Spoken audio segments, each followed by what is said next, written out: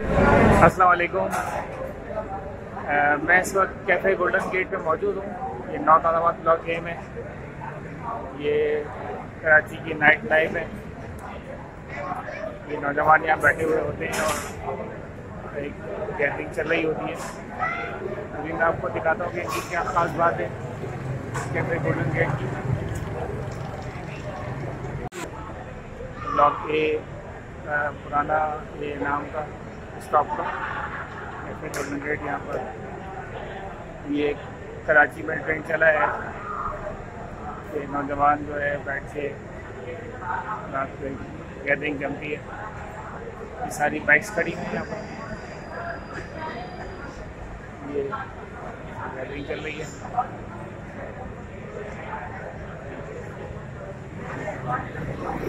आइए, हम चलते हैं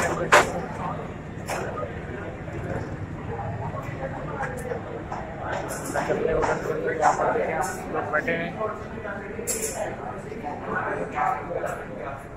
जी राफी भाई, क्या खास यहाँ पर आपके यहाँ माशाल्लाह फ़ूड होते हैं? ये राफी भाई यहाँ के जो है ऑनर हैं। यहाँ पर जो मेन है हमारी जी राफी यहाँ पे मेनली जो है हमारी चाय है पराठे हैं तकरीबन पाँच किस्म की चाय है चार किस्म की कावे दो किस्म की कॉफ़ी है और तेरह किस्म के पराठे हैं। वो चलता है बाकी फास्ट फ़ूड है। प्राइस है बहुत तो आपको ये कैसे ख्याल आया कि आप ये गोल्डन गेट पे ये खोले आप? ये बस शौक का कुछ करने का तो बस कर लिया। तो इतना पढ़ने लिखने के बाद आप होटल के काम शुरू किया आपने? पढ़ाई लिखाई से कारोबार में नहीं कारोबार कारोबार।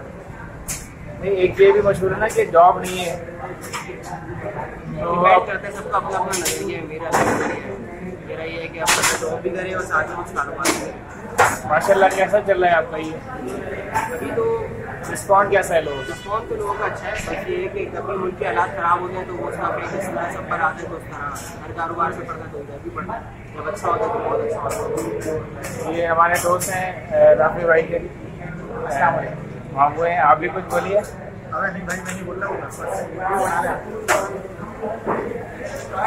कुछ तो बोले बोले बोले कुछ नहीं होता ये मेरे भांजे हैं और इन लोगों ने जो है होटल कैफ़े गोल्डन गेट जो है यहाँ ए ब्लॉक में खुला है। जो कि गोल्डन गेट को लोग भूल गए थे। उस गोल्डन गेट के नाम को जो है इन्होंने दोबारा से जो है उसकी याद ताज़ा याद ताज़ा जो है करी है। और उसके नाम पे जो है ना इन्होंने कैफ़े गोल्डन गेट जो है बनाया चाहिए ये मेन्यू है कैफ़े गोल्डन गेट का। यहाँ पर जो ये आइटम होते हैं देखें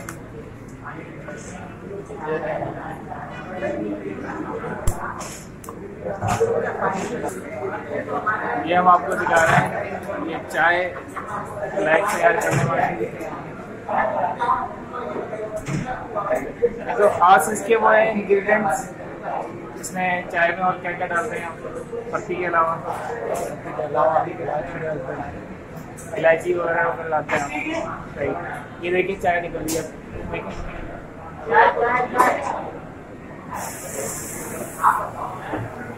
क्या नाम है आपका?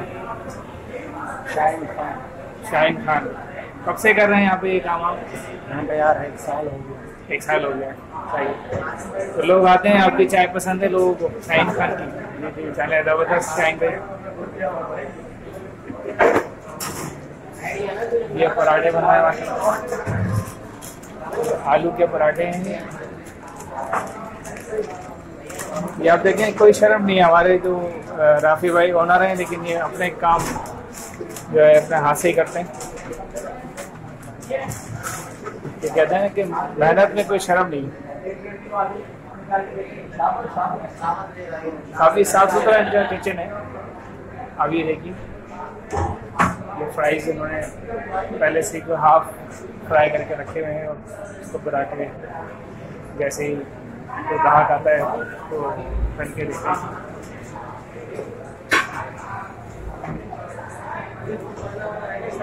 उम्मीद है आप लोग को ये वीडियो पसंद आ रही होगी। ये खासकर ब्लॉग ए के लोगों को।